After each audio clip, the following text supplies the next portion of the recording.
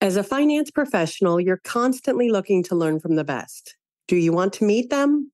Join me and our panel of top industry experts at our next CFO Leadership Live event on August 24th in Dallas, Texas, as we talk with three CFOs about the challenges that finance teams are facing today and how best to overcome them. The workshop includes a complimentary buffet lunch and the chance to network with other DFW finance leaders. Head over to CFOLeadershipLive.com to secure your seat.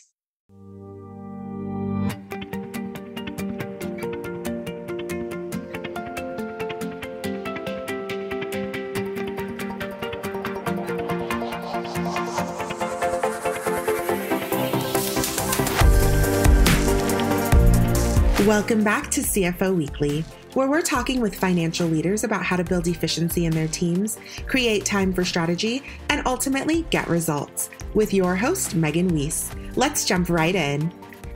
Today, my guest is Bryan Lapidus, certified corporate financial planning and analysis professional.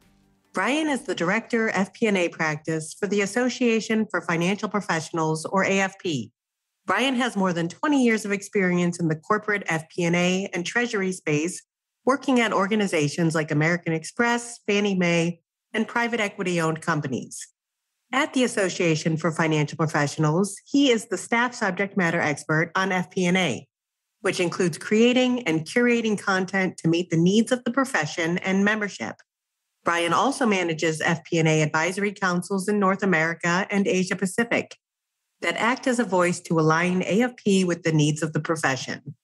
Bryan, thank you so much for joining me on today's episode. Megan, it was great to hear from you, great to connect, and happy to be here with you today.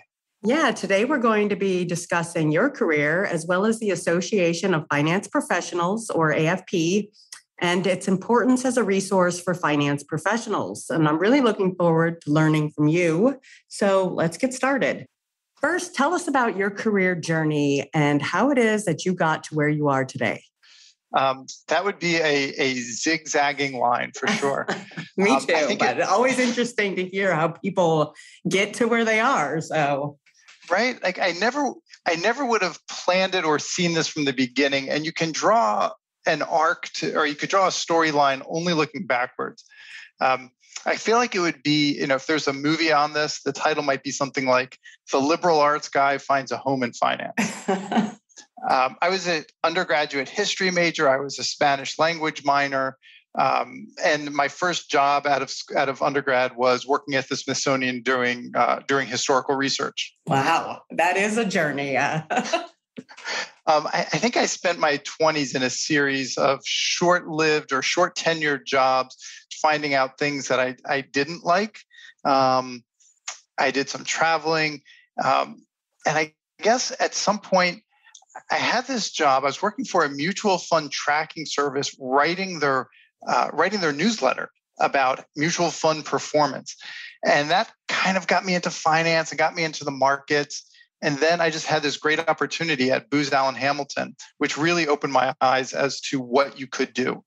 And it was this sense that business can do can solve really hard problems.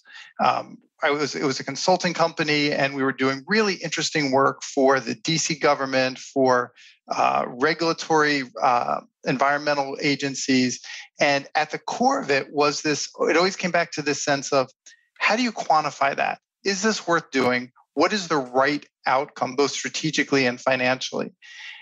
And that was the position that really redirected my career. Um, from there, I, I, went to business school. I got my MBA. Um, I went. I was at American Express in a rotational program for almost five years. Um, I ran after that. I, I ran FP&A for about five years. So that was really that inflection point that said that finance can do interesting things and brings a certain point of view to the table. Um, good analytical work to solve hard problems. That's very interesting. And Smithsonian to Booz Allen, like that's quite a jump. How did you how did you do that? um, how did I do that? That's funny. well, I mean, there was there were a couple years in between. Um, what so a- after the Smithsonian, that's when I traveled, and I came back and I wanted to work I thought I wanted to work in um, kind of the kind of company that helps to improve the quality of life in developing nations. And the only job I could get at that point was in the finance office of one of these companies that backstops. It's an, uh, an NGO, a non government uh, organization that supports these kinds of programs. And the finance office was kind of my entree into there. Um, and I discovered I, I liked the work, maybe not the company, but the work itself. Um, and then honestly, it just kind of became a, couple different positions, uh, meeting somebody at a networking event who worked at Booz Allen and uh, struck up an interesting conversation with. And I was young enough in my career that they needed worker bees, and I was willing to do almost anything. So, uh, so that was the uh, that was the match. Yep, the importance of networking highlighted right there. It it is, and it's it's not where you think it's going to come from, right? Sometimes it is these kind of classic networking sessions. Sometimes it's uh, you know they, they call it the the strong the strength of weak ties. So this uh, i remember the guy who was a, a, friend of a friend who i met over uh, over i think a brunch. And that was the that was the, the start of the step.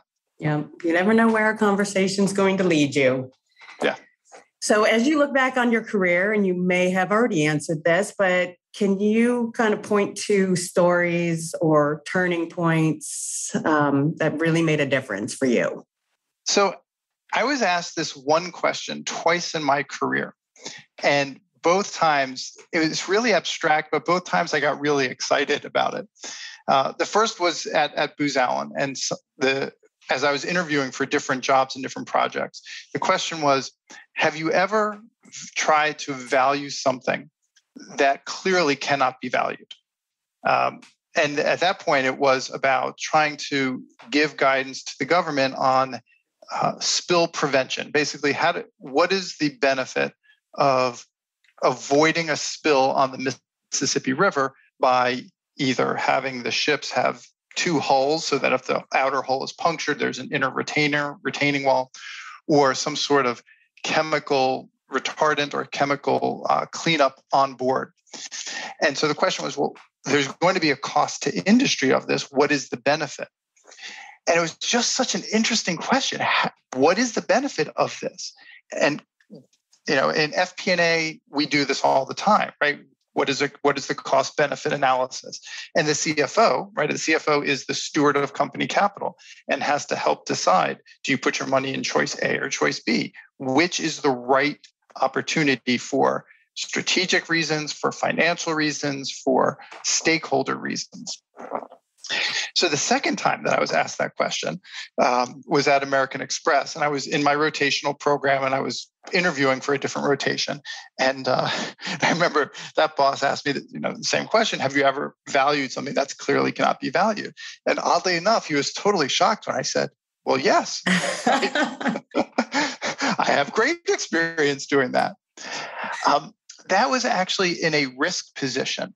And, and the question was how much money, how much capital do you keep on the balance sheet as a reserve against operational risk, knowing that you never know the likelihood or the impact or the effectiveness of your controls against those risk events?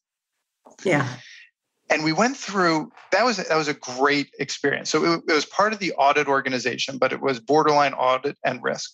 And we went through this process of trying to value how much money amex would have to keep and so we went through this pilot project and we chose the smallest division of the company and we put our methodology in place and we did a monte carlo simulation and it was all very technical and all very impressive and we failed so profoundly. It was so wonderful. The, the outcome of this said that in the smallest division of Amex, we'd have to hold more capital than the entire market value, debt plus equity of the whole company. Clearly, that was not what we were hoping for. But I just remember the process of doing it, the thought process, the people that I got to meet around the company and just like the raw mental firepower of the people I was working with. It was a great project with a, you know, a huge failure ending. But on the other hand, it's only a failure if you don't learn anything from it. And while we didn't get the outcome we wanted, um, the process, the diligence, and what everybody took away from that really was was wonderful. Yeah, those failures can be well, they often are the best learning experiences there are. Yeah. Yeah, no doubt. I I actually took that. I, and my next rotation was in treasury, but that that risk capital, right? That sense of can you forecast the downside as well as the upside has always stayed with me. Um, actually, about one of the, when I joined AFP, one of the first guides that I wrote was trying to align the forecasting methodology, right? So F, the, the view of really how do you think about the forecast and what are the skills that you need in order to mitigate risk in your forecasting and trying to put that in place of a larger ERM and enterprise risk management capability. And I, we actually had lined up our certification uh, knowledge, skills, and abilities alongside the COSO ERM framework. And we looked at the two side by side and said, there's a lot more these two can do together, right? And if you're the CFO and you're responsible to the audit committee and you're trying to reduce risk and you're also trying to see around corners, the two of these groups really have an opportunity to work together. So let's talk about your current organization, AFP, and what it is that they do. Sure, sure. So AFP is the voice of the corporate finance professional. We are a not for profit, but we help Treasury and FP&A practitioners, honestly, uh, just be better at their job. And we do that by helping them advance their careers. We deliver the best conference in the business. This year, it'll be uh, the third week in October in Philadelphia. We have certifications for both Treasury and FP&A. We have training for corporations and educational content research guides and that's really my area is trying to help with that educational content and just honestly just helping people be better at their jobs. So let's take a look at those certifications for just a second. What what is the process first of all for getting them? And what does it mean to a finance professional's career? So the process for getting a certification there, there is an application and it's a combination of experience time in the role as well as passing a test. And the, the test is, is fairly rigorous. It's a two part exam, although if you have your CPA, you can uh, waive out of the first and just go right to the second test. And it covers six different areas, all that are core to, um, to what it takes to be good in this job. Right. For the people who pass this job, who pass the uh, the test and earn their their certification, what it says, what it signals to the marketplace is that they, as individuals, have met these sort of uh, foundation foundational elements of what it takes to be good in the job. It signals commitment to being an FP&A, FP&A professional, and it's also just a sense of, of belonging to the community and tapping into the overall finance FP&A community to continue their education and continue the, that honestly that sense of excellence in finance. And you've been with AFP for how many years now? I've been here. Uh, I'm coming up on my four year anniversary. Okay. And what are your proudest achievements since joining the organization? Since joining, um, you know, every year we put on this conference, and I, I mentioned it earlier, and we're going to be actually this past October we were in person uh, for the first time since the uh, pandemic started. Um, it's hard to really explain to somebody who hasn't been to the conference just how amazing it is. Um, Pre COVID, we were 7,000 people strong in Boston. We had 120 educational sessions, keynotes, um, you know, nearly 300 vendors on the floor. Um, putting on an event like that is a combination of just camaraderie among the AFP team who's doing it, who's executing it, uh, but really walking along and hearing people say, you know, I, you know, I learned this. I never thought about it this way. This is there are things I'm going to take back to my office. Uh, I brought people say they bring their whole team to conference, and being able to deliver that kind of excellence to the community is really just inspiring on a every year every year I get to have that experience, and that really is pretty wonderful. Yeah, that's awesome. I mean, so many events out there, but some of them just uh, aren't very impactful or meaningful. So it's always special when you can find one that is. yeah, we and I think we as an organization do a really great job of pulling together, you know, the serious, the he- really heady stuff, but also the lighthearted stuff. So, you know, this year we have Adam Grant and Laila Ali as our keynotes. Um, so, right, so entrepreneurs and also people who are really thinking about what it takes to to have psychological safety and ha- and build great teams. And we'll have, you know, artificial intelligence, machine learning, and we'll have storytelling. We'll also, we're also going to have a puppy park, right? We're going to have, we have yoga events, we have coffees, we have music and live entertainment. I mean, it is everything from the inspirational to the deep dive, heady stuff to the pure networking and just talking to your peers and learning from your peers. It's big enough that you could find whatever it is you're looking for. Yeah, sounds amazing. Um, so you yourself have over 20 years of experience in corporate FP&A and treasury. Um, how have you seen finance evolve? How how has it changed as far as how it's practiced? So probably about 20 years ago, I asked that same question to my boss, who then was the, the treasurer of American Express. and it's so it's funny. So now I'm at the point in my career where I'm doing the, the look back. And it, it's it's funny when I asked him, I still remember he was talking about getting ready for these presentations and board presentations. And back then he said, you know, you'd print something out. We didn't, he says, we didn't even have Excel. And we didn't even have PowerPoint. So you'd print out something in, in whatever tool they were using pre spreadsheet, and then you'd paste it down on the board. And then somebody would make a change and they would glue it on, they paste it down on top of the board. And eventually you'd have so many changes that the pasted down items would become three dimensional. And when you'd go to Xerox it, you'd have a shadow on it. Right. And I, I, and so then you'd have to take the white out and you'd white out the shadow and you'd re-record. And I was, I think about that because I think that at some point, right, the tools that we're using in finance keep changing.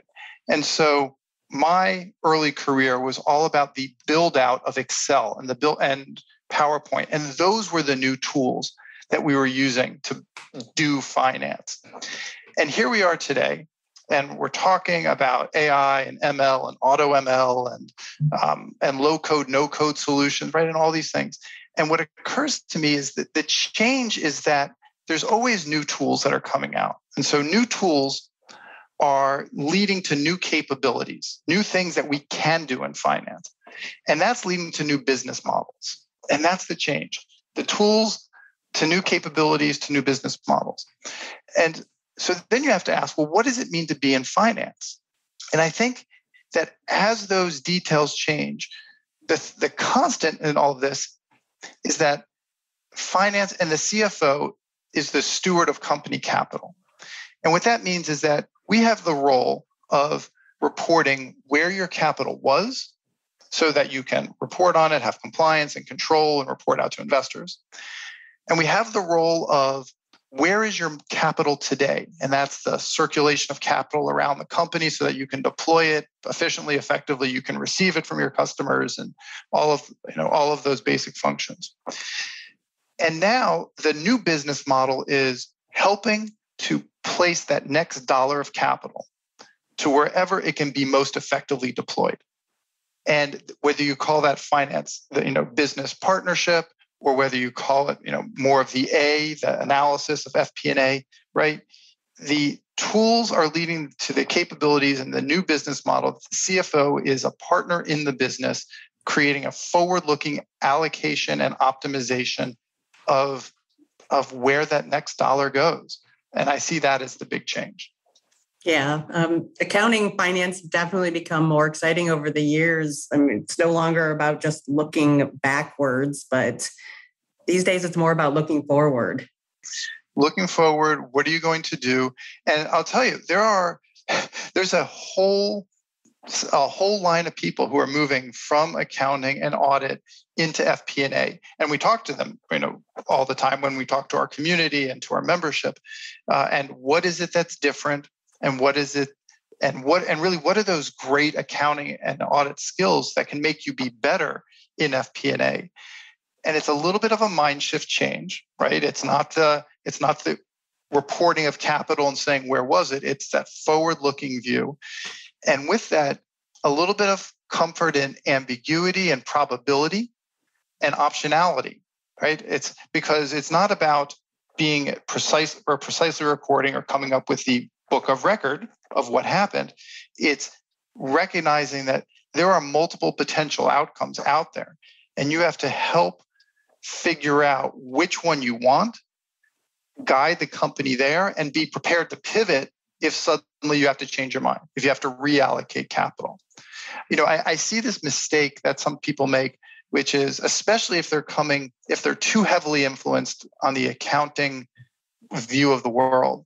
And that is they think of the budget or the forecast as the historical, a historical record projected forward. And it can't be that. You can't lock in your future view to a once a year budget or a once a year limit. You can make a budget, you can make a forecast, you're going to reforecast all the time. But the challenge is to have that mental agility and flexibility to know that your budget is going is not going to be where you end up and to do what's best for the company is going to require changing your original plan? I, would think that a lot of organizations out there start with last year's budget and, and use that to forecast, probably more than not. Um, I might quibble with the, with wording a little bit, right? So, right, so you the, there's the budget and there's the forecast, right? So the budget is what you want to happen, and it's the alignment of resources and plans around the organization. And the forecast is where you think you're going to end up. So I think that people will often choose a budget and say, well, we'll start with last year and our plans and we'll see how we did. And so I, and we definitely see some of that. And then for the forecast, I think people might, maybe their first forecast is heavily influenced by the budget because oftentimes the budget is both a, a point in time forecast as well as that strategic alignment. But it's really important that the forecast be independent from the budget because the budget is often tied with goals and incentives and what you want to happen. If you put all those wants onto the forecast, you're going to bias the forecast. And that's the worst thing that could happen. Your forecast has to be independent and an honest view of where you think you're going to end up because you might have to make a change. You might have to take money out from one place to another. And if you're locked into all of the compensation discussions and the fiefdoms and the and whose money is whose, right? If you if you layer all those expectations on a forecast, you won't have an honest forecast and you won't make good decisions. So, just looking back at the last 2 years, has do you think the last 2 years have changed financial planning forever or in any way or with with all of the unexpected things that have happened how are people looking at planning for the future these days wow that's that's a really hard question. I threw that at you out of left field. Uh, well i'll tell you why it's a hard question. Had you asked me a year or 18 months ago i would say yes. It has changed finance full stop. And the reason is we saw that we did a lot of polling during the, the early you know, real, the early 12 months of the recession, or not the recession, but the pandemic to see how people were reacting, what they were doing, and, and what processes were changing. And we saw that the demand for FP&A services was increasing, right? So the, so the CFO is being asked, what do we do? How does this, how do we manage this? And they're turning around saying, I need a new projection, you know, every day, every week, every month. So our survey our survey data indicates that the, the level of demand for forecasting and those kinds of services jumped in 2020 and in 2021. And so I think that it has come down a little bit as we've moved into a newish, I, I can't call it new normal, but whatever this reality is now, I certainly don't think it's normal. And so I think that that level of demand and hyperventilation around, I need to have this, I need to have it now, has decreased. Without a doubt, the investment in forecasting technology in systems has, has increased. Where I'm not seeing the change is what percentage of, of companies can can spin up a, a new forecast with minimal effort. 50% are, according to our, our surveys, are saying we can't do that. And to me, it's it's really awful that at this point, I was trying not to say it, but if, if you if you really want me to say what I think, it's a little irresponsible at this point not to have quick on-demand forecasting available to you. Um, you've got to get the alignment right and your processes right to get your forecasting in place. You've got to be able to come up with a forecast quickly to respond, right? I think what you need to have is rapid reaction to change changes in the marketplace, as well as the ability to hold multiple scenarios in your head and in your planning at the same time. And I think that we have this initial burst of activity in this part of the CFO function, followed by a little bit of, okay, you know what? Maybe we can make do. Maybe we can get by with what we have. I really see the split between those companies that are investing in technology, in their forecasting tools, and in that capability to do more, and those that are really shrinking back to finance as a compliance function. And we're happy in this small space. And the difference between those two is the difference of an exciting career with a CFO that is creating new opportunities for themselves and their finance organization versus a CFO whose business is going to be a shrinking percentage of thought of end of impact. Yeah, and I'm sure a bit of, of like a company that utilizes finance and accounting as a competitive advantage versus a, a corporation that doesn't you know we had we had a webinar last month. It was the kickoff to an event that we're having in june. And the, the event is called get your data right. And um, this, this one woman from her company was talking about how they've invested in their finance lab. And i asked the question well have you been able to reduce your your cost your size footprint your scope? And she said just the opposite that the more they have pushed the envelope on what they can do the more they can deliver the more demand there is for their services. And so they're actually increasing their staff because they are so much more useful to the business, because they are so much more in demand. You know, in some companies, and especially large companies, there's these transfer pricing mechanisms where certain parts of finance are allocated to each P&L as a tax, right? And you know, maybe it's accounting and maybe it's treasury and these service providers. And then people argue, well, how do I reduce the cost of finance that's taxed on my business. But then the analysis side, the FP&A side, the side that's sitting with the business, those costs are often picked up by the business. And they say, "Oh no, we want to reduce the parts, we want to reduce some parts, but we don't we want to increase the amount of analysis that we're getting because that's helping us grow." So for those, you know, I drew the dichotomy a few minutes ago between the expansive view, the value adding CFO, and the compliance CFO it, the compliance CFO will limit what they see as how do I reduce my cost as a percentage of revenue, right? And that's a terrible metric for success. How much the, the, the value CFO is going to say, how much are people asking for what I can do? How much do they want my people? Am I being part of this key discussions? Do I have that proverbial seat at the table? That's the place where the CFO can create interesting jobs, have impact, and bring really bring that thing that we do in finance better than anybody else. Bring that to the table. And what is it that we do? We bring a quantitative point of view, an understanding of the business. We bring models and methodology to the table to help make decisions.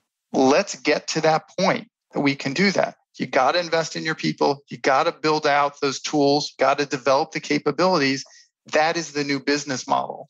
Um, with FP&A as the tip of the spear, but that's those same ideas, right? Accounting needs to have those same tools so that they're not just working offline in spreadsheets and then loading it into the into the ERM.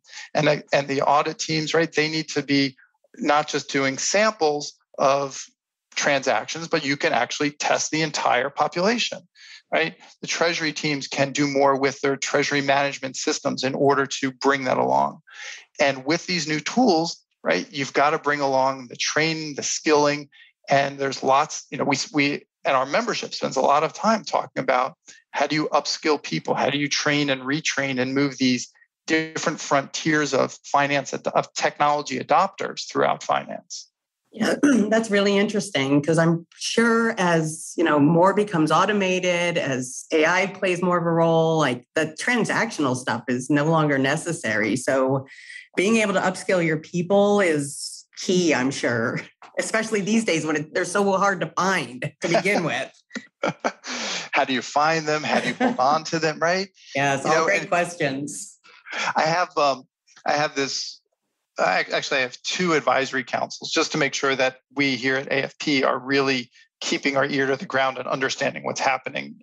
Um, and so one is in Asia and one is North. I, I to say North America, but we also have members of that council from from Europe.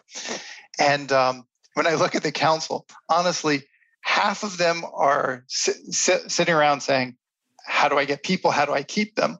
And the other half all have new positions or are looking for new positions within a 12 month window, right? From the last, you know, either they're looking for something or in the last four to eight months, they've all gotten something new. So I hear it on both sides. I think that, and so because of that, I, I play both sides. I think that if you're an employer, you have to demonstrate that you care about your people, that you care about, and that means you care about not only the quality of work they're doing. So don't have high IQ people doing low IQ work by you know just punching and mashing um, spreadsheets, but you have to invest in your people. And I know that I work for an association that is all about investing and upskilling people, but there's a reason why I'm here. There's a reason why I'm doing this work. And it doesn't have to be the conference, but we think conference is great. Right? We've got training, we've got certification, we've got, you know, there are guides you have to create a path for your people to find their next role, which means you have to hold on to them, but not too tightly. You have to help them find their next role, help them upskill. You have to help them keep their antenna up of what is new, right? I didn't know what auto ML was until I started looking at all the conference sessions coming in. There's just so much to learn. And if you're not if you're not growing and you're not learning, you're not developing yourself and your team, right? You're, you're going to fall behind. And I so often I think that people in finance feel this need to demonstrate fiscal restraint so that they could go and impose that on the rest of the company, right? How many times does the CFO say, I've got to be, I, I can't spend this money because I have to be the model so that when I go to XYZ department, they understand why I'm asking for money back. right? So true. We have to stop thinking uh, in that way. If we want to be the value added finance organization, we have to add value. And the only way to do that is the right skills, the right tools, the right combination of processes, and that that growth mindset. Yeah, and as we look at, uh, I mean, it, it's hard to retain people, but people want to feel like they're being invested in. Uh, anywhere they work. So it's a great point. Yeah. You have to you have to give people a reason to stay. You have to believe in them as individuals, upskill them, uh, and and and give them opportunities within the job to grow. You know, we had we had a speaker at conference last year who said that we have to stop thinking of career ladders where you move up one rung and you wait for your boss to get promoted so you can get promoted, right? It's not about career ladders. It's about career lattices. You don't have to be in the right place at the right time. You have to be a broad, think broadly and be in multiple places. And I'll give you the tip that came out of one of our roundtables at conference. Somebody said, it's all about the projects. If you want to develop somebody in your organization, right, give them a project that pulls them out of your team. Have them work with somebody else, have them work cross functionally to meet other people. If you don't have a naturally occurring project, invent one. That maybe it's a data project so they could pick up data skills. Maybe it's a you know a new product development so get them in with marketing get them in with the supply chain team. But you have your do job and you have your improve job. The project view is such a great way to expand people's contacts, network, and give them other opportunities, which comes back to retaining talent. Yeah. Um, another great point. I think it's so important that uh, finance and accounting professionals get to see other parts of the business throughout their career. I mean, especially these days to to partner with this like CEO and provide you know strategic vision you have to know about the business that you're in yeah yeah you know what's there's so much talent in the finance organization and sometimes i fear it gets lost in the basement right? Yeah. and we we'd interviewed somebody who was uh, she was a tax professional who's actually had a new role to become the head of global fp&a right? And you say well how does the how does somebody from tax which is such a a detail focused area come out to such a forward looking partnership view?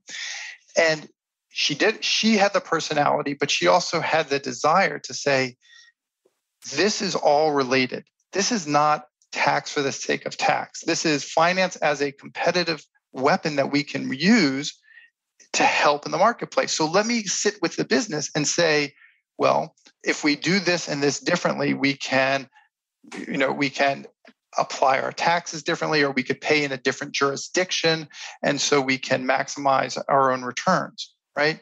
Finance has the skill set but you don't know how to apply it until you meet with the business until you learn what the business does. I think that sometimes i think that we in finance get fall a little bit too in love with our models and our spreadsheets and we see what's in front of us. And the work that we do actually from we in one of our webinars we took a poll and we said how much of your work you this is for the fp&a people who are supposed to be closest to the, to the business. We said how much of your work is actually for other finance people. Well two-thirds of the people said that almost all of their work had other finance people as the main user right? And these are supposed to be the business partners. Wow. Look at what you're doing, look at who is the main beneficiary and how you spend your time, and make sure that you're adding value to the business, not just numbers for the sake of numbers.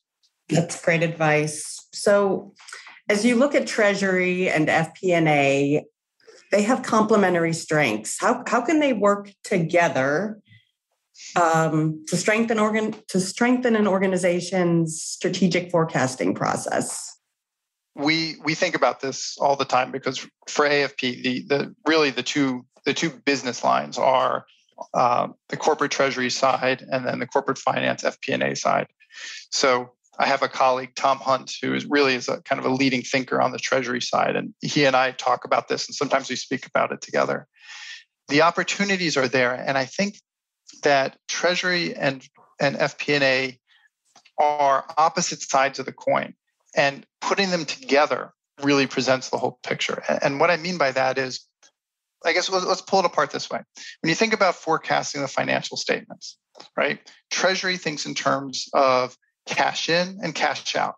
They think cash flow statement and balance sheet, and they think kind of direct methodology of, of accounting and direct methodology of forecasting cash flow.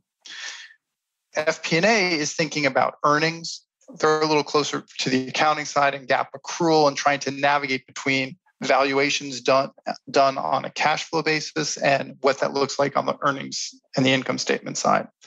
And FP&A thinks about P&Ls at multiple levels and indirect methodology for cash flow. So one is thinking so but if you put the two of them together, you've got all three financial statements all working together and that's incredibly helpful.